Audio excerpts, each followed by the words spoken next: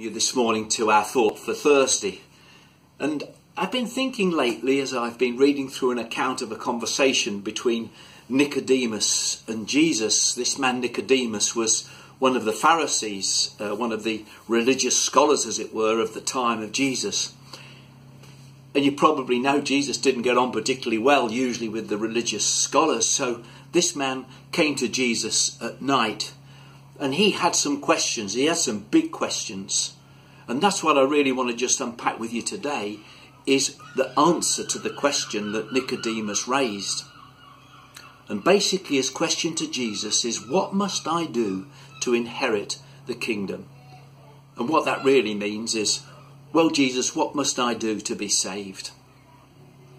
Well, the reply that Nicodemus got wasn't quite what he expected. In fact, it was a reply that he didn't fully understand. And Jesus said to him, Nicodemus, you've got to be born again.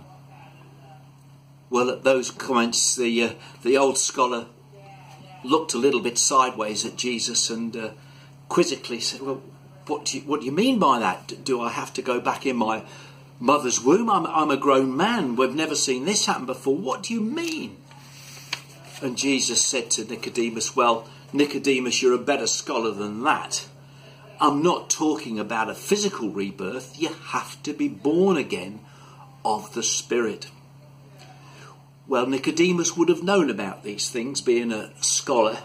It's perhaps not, perhaps not so plain to us, but let me try and help us understand a little more. Jesus having another conversation with a Samaritan woman in John's Gospel in chapter 4, and it happened at a well. And this lady was quite remarkable, but part of that conversation gave rise to Jesus saying these words to her. He said, You must worship God in spirit and in truth. In spirit and in truth. Very powerful words. And this lady seemed to understand these words better than Nicodemus seemed to un- uh, understand Jesus' earlier answer. So we learn that God is spirit. And we go right back to the beginning of the Bible in, in Genesis there, and we learn that the Holy Spirit was, was at work, as it were.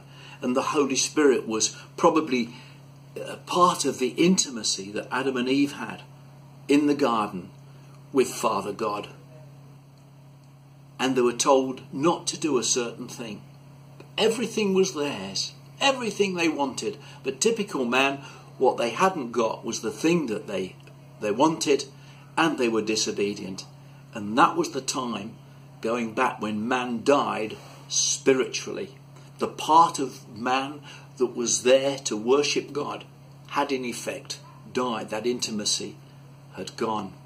The very innermost part of, of us, this spirit, was created basically to worship God. That's when we're released. That's when we're truly who we're meant to be. Now, you see, animals have a body and they have a soul, but they don't have a spirit. We have a spirit, and we read about that in the Bible. And this innermost part was lost, died in that garden. And since that time, we operate from our souls and our bodies only without the influence of the Spirit because the Spirit within us is kind of dead. No wonder we've got into a, such a mess because we're doing it our way. You know that song, I'll do it my way. That's what we've been doing. And the soul, which we understand in Greek is made up of the, uh, of the uh, will and the intellect and the emotions that we have, are governing what we do physically in the body. So wonderful when that part of us is governed by the Holy Spirit, as it were, but absolutely disastrous when it's not.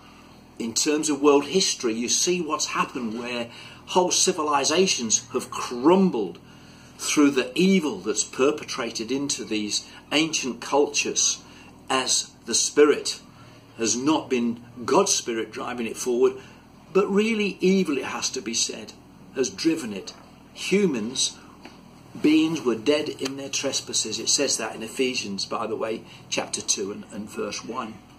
So we've been trying to live soulishly. That's really living without God. in our lives. And the word is that we've been lost. We've been a lost people. It says that in Luke chapter 19 and verse 10. That means that the problem is we don't really know who we are, we don't really know where we're going, and we don't know what we're here for. And that's pretty serious stuff. We may cover over the cracks a little bit, but we don't get behind the truth of that. And if this situation isn't corrected, then we spend eternity in a very bad place of darkness, of fear, rebellion, hate, separated from God forever with no way back.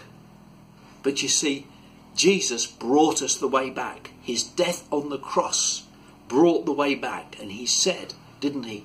I am the way, truth, and the life. So the great and desperate need then is to come alive, to get back in touch with God. And this is what Jesus is offering to us today. He says, Come to me. Come to me. And through Him alone, there's no other way. God's life can come and bring us life.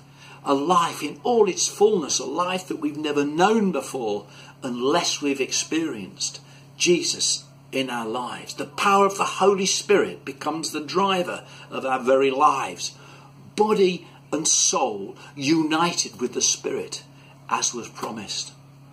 And to experience this life, we must ask Jesus to come, live in us, and be our Lord and Saviour. But the Holy Spirit, Jesus comes into our lives. Our sins are washed away, our sins are forgiven, basically, through his poured out blood. And we are given a new kind of life. The Holy Spirit having joined himself to our spirits. We read about that 1 Corinthians 6 and verse 17. And it brings our spirit from death to life. It's born again, those words from Jesus to Nicodemus. Born again and becomes what the Apostle Paul says a new creation. It becomes the driver of our whole life. We receive life in all its fullness. And not only have I read the words, but I've experienced that in my own life in 1976, a long time back now, he filled me with his Holy Spirit and he has empowered me ever since to follow him.